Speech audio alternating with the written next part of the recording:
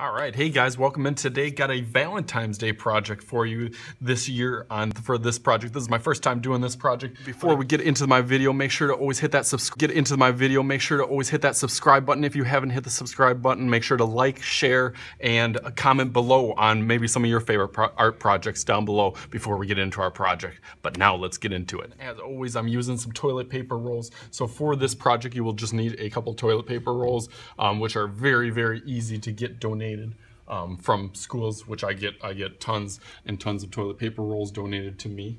So for this, I have my toilet paper roll. Um, the easiest thing to do is just kind of pinch it into a heart shape. So not just on one side, but kind of on both sides. So the whole thing folds up almost kind of like a, a B, but then when you hold it up, it kind of turns into a V or a heart shape, which is really, really cool. Um, so for this, um, you can use whichever side that you want. You could, I guess you could do this um, with both sides, but I have my kids start out with a light color. So for this little Valentine's Day card um, is the project that we're doing today. I use these kind of cardboard sheets. I have dark ones, I have light ones. Kids just pick whichever that they want. And the first part of it is just filling it up with as many hearts as you can. You can pick whatever colors that you want. Um, so for mine, I use red, yellow, and black for the last color. So for this, you just dip kind of the bottom part of it, and you can kind of practice on your little sheet just to make sure and see which parts that you kind of need a little work on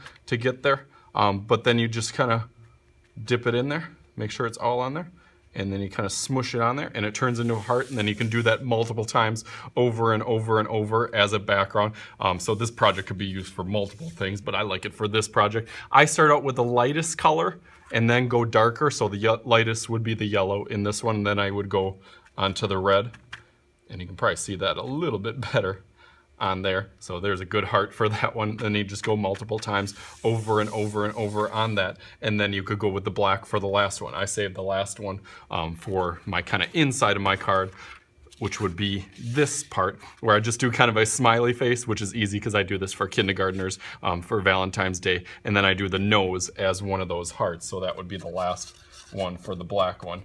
I just do a black kind of heart in the middle of that. And I say V-Day instead of Valentine's Day just because it's kind of hard for kindergartners to spell Valentine's Day, but most of them can spell just V-Day. So I do a nice big smiley face. They could even put their name maybe on the smiley face or kind of underneath if you wanted their name on it also or to or from, you could add that on. Um, but this is a quick, easy project, fun one for Valentine's Day. So thank you as always for viewing, guys. I am Mr. Schuette. This is Mr. Schuette's art class, and we will see you later.